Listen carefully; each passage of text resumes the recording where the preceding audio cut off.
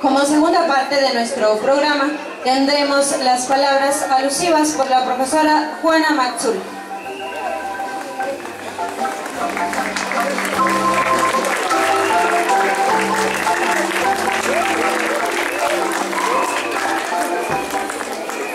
Respetable señor alcalde municipal Reyes Catalio y su honorable corporación, señores supervisores de los distritos 13 y 14, directores, maestros, alumnos y vecinos que nos acompañan en esta tarde tan especial y conmemorativo para nuestro país.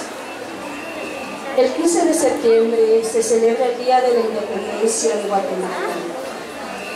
Ese mismo día, en 1821, los próceres lograron que se firmara el Acta de Soberanía. Han pasado 196 años de ese histórico hecho.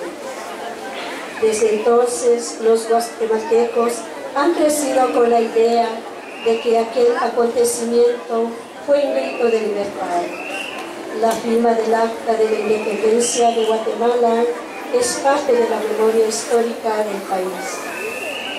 Fue un acontecimiento que marcó el rumbo de una nueva nación y por lo tanto es importante conocerlo. Por tal razón, estamos reunidos para recordar ese momento histórico que marcó nuestro país ver ahora ondear nuestra bandera con el color azul que simboliza justicia, lealtad, el cielo de nuestro país, el color blanco que simboliza pureza, integridad, firmeza y la nación. Ahora podemos alzar nuestros ojos al cielo y ver cómo nuestra bandera está en lo alto y sentir amor hacia ella ya que nos identifica en todo el mundo. Sintámonos orgullosos de ser guatemaltecos y que florezca la paz en nuestro corazón y pedirle a nuestro Creador y Formador la paz de nuestro país.